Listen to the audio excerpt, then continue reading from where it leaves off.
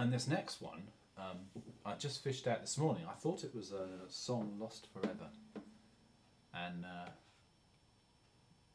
it's a song called "This Is My Song," and it's about the songwriting process as penned in June 1975. It says so, uh, just before the trip down to the south. So it's about this idea that the, the writer of a song isn't really, uh, you know, it uh, it just appears, which is something I've um, I've kind of advised against more recently. But um,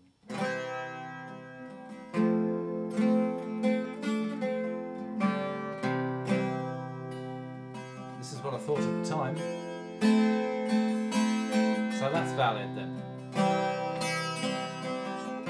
The moves faster than the pencil.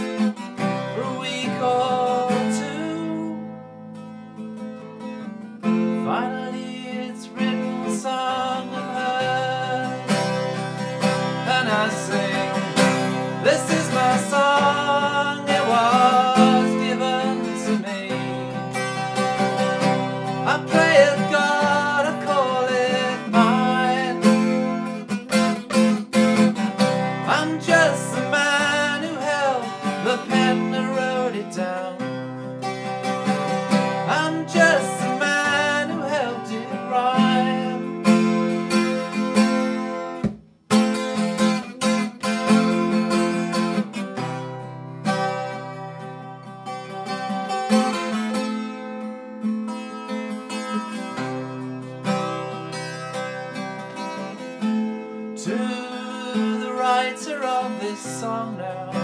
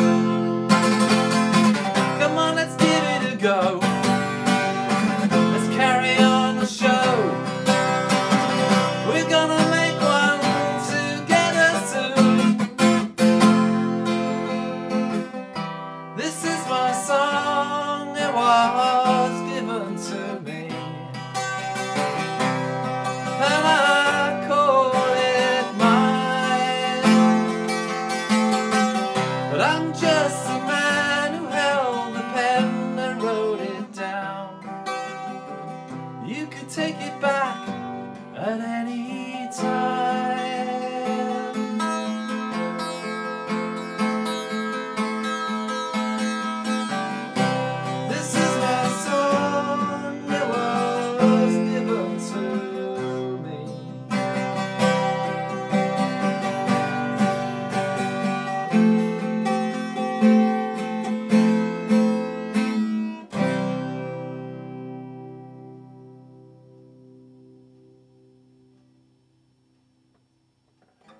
So there, that's a revival of a song from June 1975, which never made it onto the Andy Roberts tapes, the album of 20 odd songs that I recorded in 1980, some of which, several of which have been revived and played on these podcasts.